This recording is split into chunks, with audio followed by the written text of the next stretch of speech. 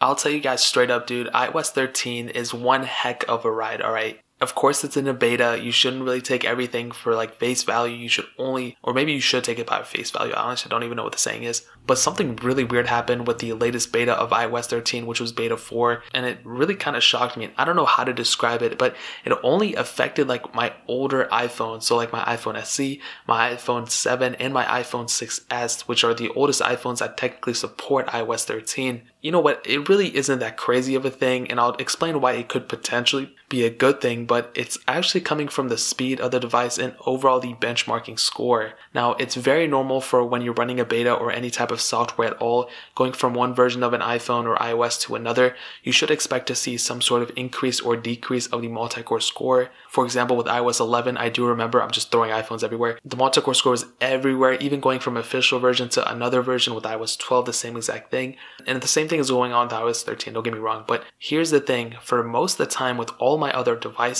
almost 99% of the time, all my devices either increased or decreased their scores per their own device. It wasn't like all my devices increased their scores greatly or decreased their scores greatly.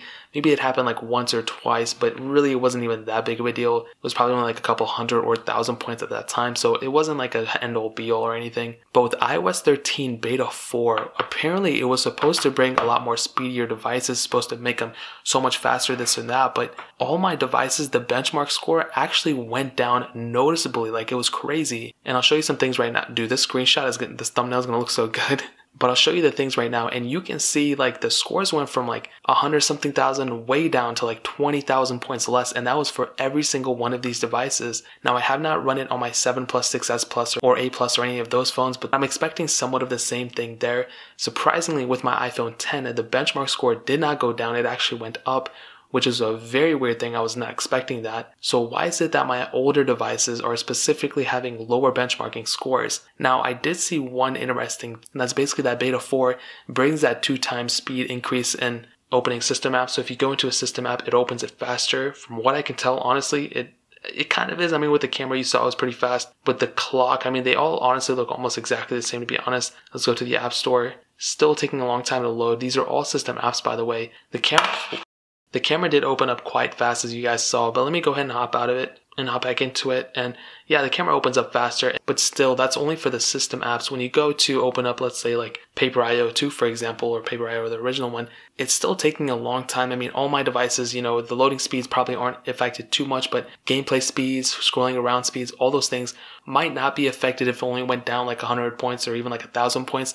But when we're talking a couple thousand points for all my devices on the older ones, there is a problem with that. I'm not too sure what's going on. I'm gonna throw a random statement out there. There's no back, there's no way to back it up. It's only from my experience. Don't hate on me again. It's only my opinion, and I could be totally wrong. But here's the thing: something could it be that Apple is slowing down iPhones on iOS 13? I mean, dude, they've done it before. They could do it again. Who knows? But I've said in other videos, and you can even probably remember. Okay, my other devices on iOS 12, my older ones, I, I made so many videos talking about how Apple, you know, did a really good job on iOS 12 and how the iPhone 6s was faster than basically all my other phones.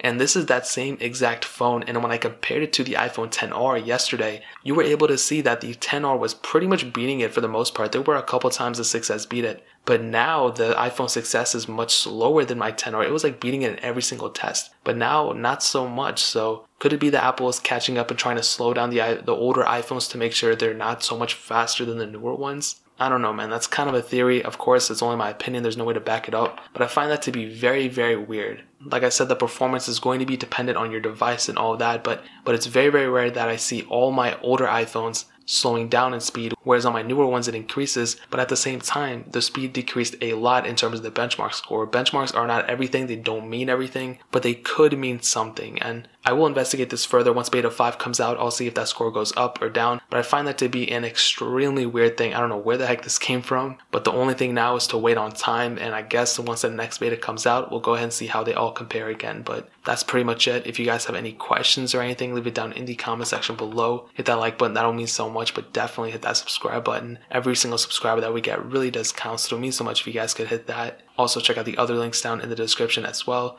My Twitter, my Instagram, my second channel. All those links are linked down below. I would really appreciate if you guys could check it out. But more importantly than everything else, I love every single one of you guys. And Hopefully I'll catch you guys in the next video. Peace out.